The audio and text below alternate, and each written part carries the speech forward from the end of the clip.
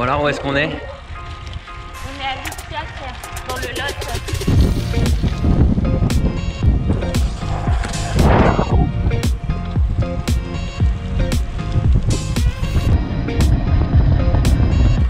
Chaîne du Quercy.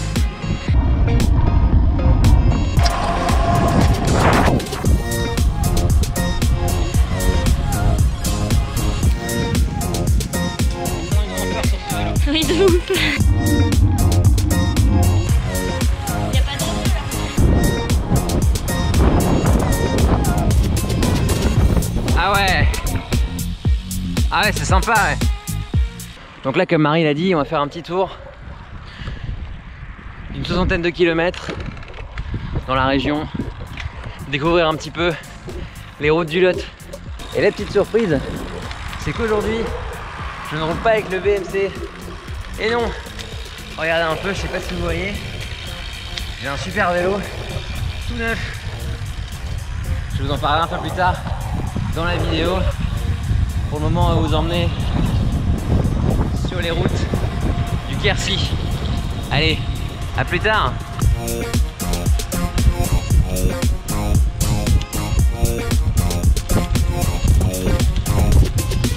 Alors, là on a une côte euh, qu'on aime bien tous les deux.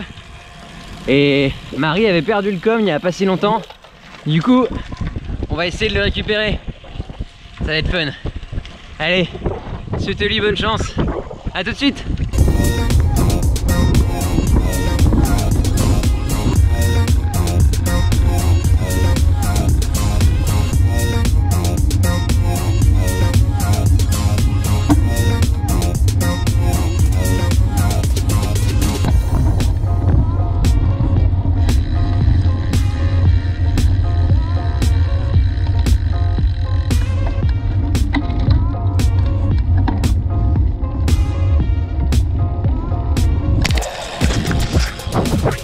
Ah donc le Lot c'est beaucoup de petites routes comme ça dans les chênes et dans les noyers. Franchement super sympathique mais faut être alerte parce que les routes sont pas toujours très bonnes. Il y a des paysages euh, encore différents de ce qu'on peut voir habituellement. Regardez là, c'est super joli. Espèce de falaise roussie par le soleil avec de la pierre claire c'est vraiment beau comme tout. Là, on est encore une fois gâté par les beaux paysages de France. En plus, ce matin, il fait frais. Et ça, en plein mois d'août, ça fait plaisir.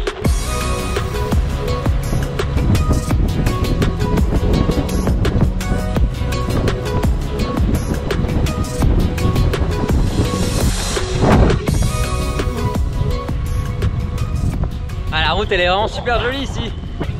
Il y a du soleil. La route est un peu étroite. Elle est sinueuse le long de la Dordogne qui est à notre gauche là. C'est vraiment super joli. Et ça mes amis, c'est la Dordogne qui passe aussi dans le Lot. Ah c'est c'est classe. On peut faire du canoë. C'est top. Moi aussi je découvre. Ah ouais, c'est top. Hein. On est gâtés, hein. Il y a la Dordogne à côté. Ah, on a une petite ascension là. Ok, bon, on va, on va voir comment tu t'en sors. Bon allez, assez parlé des paysages, je vais vous parler du vélo. Et le truc qui m'a le plus frappé dès les premiers tours de roue avec ce Yadigo Heroar, c'est la facilité. Je viens d'un vélo euh, plutôt rigide, mais un petit peu mort niveau sensation. Et en passant sur le Yadigo Heroa, franchement j'ai noté une réelle différence de réactivité. Dès que la pente augmente, c'est vraiment plus facile d'emmener le vélo. On sent qu'il... Bah, j'ai l'impression presque qu'il m'aide un peu plus que le BMC ne pouvait le faire. J'ai l'impression qu'il me rend un petit peu de ce que je lui donne euh, dès que je me mets en danseuse et ça c'est vraiment appréciable. Même niveau sensation en compétition, j'ai vraiment remarqué sur les pentes les plus fortes que le vélo bah, m'aidait un petit peu à passer ces difficultés.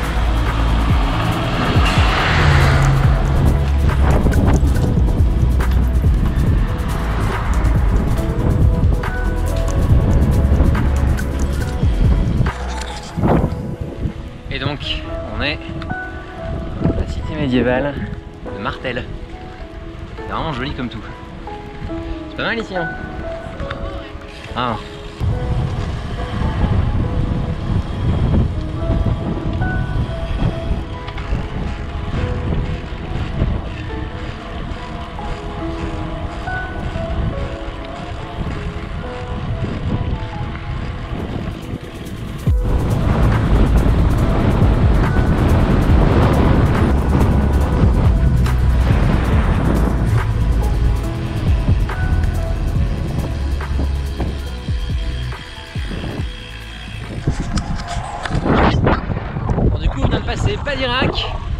Du gouffre du même nom. Le temps est pas incroyable, mais au moins le fond de l'air est frais, ce qui rend la pratique du vélo plutôt agréable, je dois dire.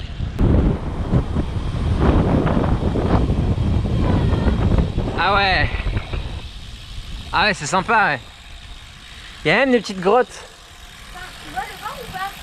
Le bord? Bah, c'est en bas. Non? Ah, c'est ouf, hein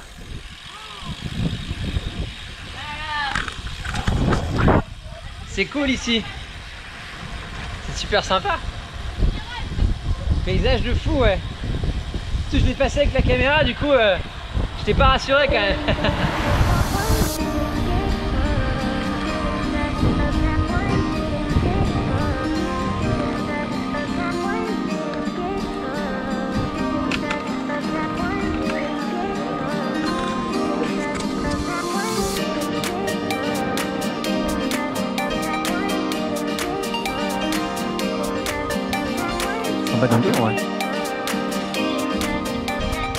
Est à Sancerré, il y a une côte de 6 km avec 350 mètres de dénivelé. Donc je vais abandonner un petit peu Marie pour aller la faire un peu vite. Objectif euh, 300 watts. Je vous ferai des petits, euh, des petits situation reports pendant la montée. Je vous tiens au courant. Allez, à toutes. Là, j'ai fait 2 km. Je suis à environ un tiers de l'ascension. Tout se passe bien pour le moment. 300 watts c'est contrôlé, hein. c'est à l'Urseuil. Du coup, je suis pas l'article de la mort, mais ça avance quand même pas mal. Donc euh, ça fait plaisir de pouvoir faire des montées un peu rythmées comme ça, moi j'aime bien. Ça me plaît vraiment beaucoup. Je vous reprends par la moitié ou deux tiers. Allez, à toutes. Allez, je suis à 4 km parcourus. Ça va être le moment d'allumer la mèche. Dernier tiers. Là, on oublie les watts. Et on gère avec la pente. On essaie de gratter des secondes. Allez, c'est parti. Et je viens d'arriver en haut. Pas facile. Bonne quinzaine de minutes quand même à grimper euh, cette côte de 6 km. C'est pas facile. La côte de Taumont, je crois qu'elle s'appelle. Là, je redescends pour récupérer Marie. On va reprendre notre périple. Direction Gramma. Franchement, vous allez voir, la région est vraiment superbe. Je sais pas si on voit au loin là, mais on voit les collines. Et c'est super joli, légèrement voilé. Très très beau.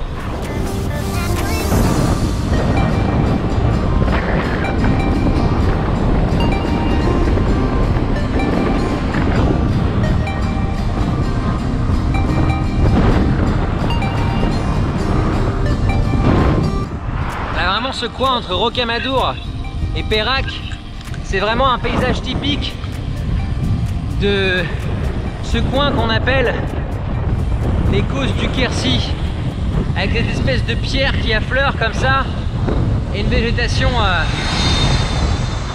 parfois dense, parfois sèche, et parfois très verdoyante, puisqu'ici c'est la région des chênes, et notamment des chênes truffiers. Et ouais, il y a plein de, truffes dans la région.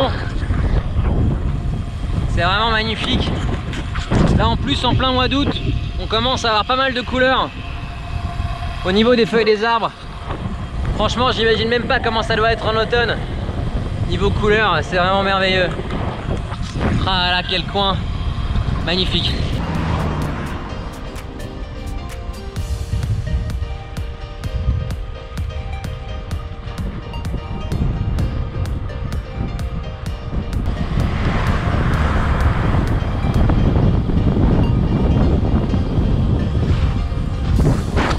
L'avez vu, on a passé Souillac et son viaduc. Et là, on est sur encore une fois sur les bords de la Dordogne. Très sympa. Je crois qu'on est de l'autre côté là du coup, non? On est sur l'autre rive? Ah, c'est sympa. Et là, on va se diriger vers un endroit qui s'appelle le Roc. Et ça, normalement, si vous êtes cycliste, vous devez normalement avoir une méfiance saine de tous les noms de villages qui commencent par Mont ou qui ont Roc ou Rocher dans leur nom. En général, ce sont des gros pièges à cyclistes parce que ça monte. Il y a en général de grosses côtes, souvent bien raides. Donc quand on est cycliste et qu'on se dirige vers un endroit qui s'appelle le Roc,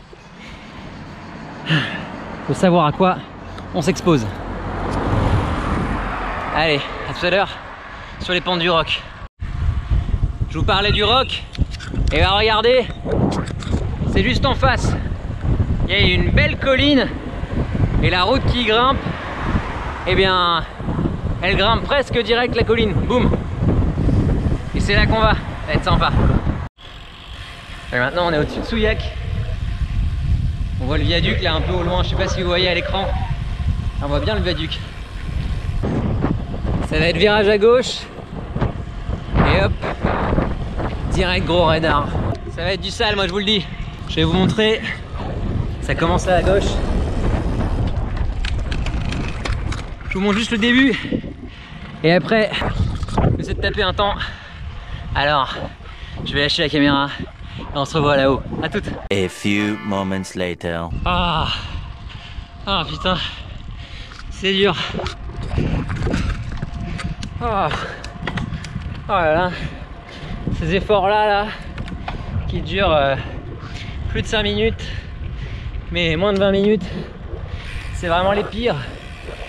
Parce que c'est long, donc tu as le temps de bien cramer les cuisses à base de grosse acidose des familles, mais c'est assez court pour que tu puisses tenir à une fréquence cardiaque super élevée. Donc en fait, tu es coincé à 190 et en plus, tu as super mal aux jambes. C'est vraiment des efforts bâtards pour lesquels je suis pas forcément mauvais, mais qui font vraiment très, très mal. Allez, on verra à la maison quel est le nouveau temps que j'ai fait. On verra comment je me classe avec les gars de la région. Ça va être cool. Allez, à tout à l'heure. Cool, là, on arrive où là, on est à La Motte Fénelon, qui est le dernier village avant Loupiac. Donc d'après Strava, on fait la dernière ascension de la journée. Mais moi, je sais qu'il reste encore euh, le col de Loupiac avant d'arriver à la maison. Le petit taquet de 50 mètres. C'est ça, le coup de cul. Le coup de cul. C'est là que tu es bien content d'avoir un, un 30 ou un 32 quand tu as des gros radars comme ça où on est à 9 km heure. C'est les... le Kersiberg. Après avoir roulé pas mal avec le Yadigo Eroa à la fois bah, sur les routes de mes vacances et en compétition, en définitive ce que je peux dire c'est que c'est un vélo plutôt bien conçu, franchement facile d'approche et ça j'ai vraiment apprécié de ne pas avoir à trop me réadapter, je me suis vraiment bah, senti chez moi immédiatement. C'est un vélo qui a naturellement bah, les défauts qui vont avec ses qualités, hein, tout ce qu'on peut gagner en facilité, en, aisance sur le vélo, eh bien si on veut être vraiment pointillé, on le perd un petit peu en, en sensation dans la direction, c'est-à-dire qu'il y a un petit côté imprécis qui peut se déclarer, notamment en descente. C'est vraiment le seul reproche que je pourrais faire à ce vélo. Et c'est fun parce qu'avec ce Yadigo Eroa, bah, je découvre un petit peu une autre manière de concevoir euh, le vélo de route, quelque chose de plus simple finalement, de plus abordable euh, que le BMC TMR que j'avais avant. Quelque chose de finalement bah, sans fioriture, qui marche bien, qui fait ce qu'on lui demande. C'est finalement ce qu'on recherche quand on veut un vélo de route polyvalent qui peut servir de bête de course le dimanche mais qui peut aussi vous accompagner dans vos balades le reste du temps. Si cette vidéo vous a donné envie d'en savoir plus sur la marque et sur le modèle, n'hésitez pas à aller faire un tour sur yadigocycling.com ou à passer une tête au Yadigo Coffee Stop à Saint-Ouen-l'Aumône dans le Val d'Oise.